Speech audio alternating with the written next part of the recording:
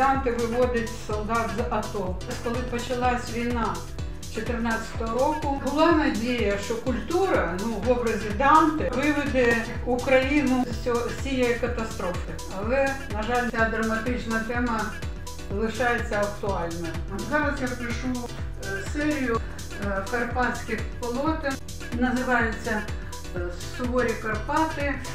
Зазвичай Карпати це таке живописне місце, його пишуть зеленими, синіми, червоними кольорами. Але тут от Карпати, які прийняли людей під час війни, дуже багато людей там в селах врятувалося.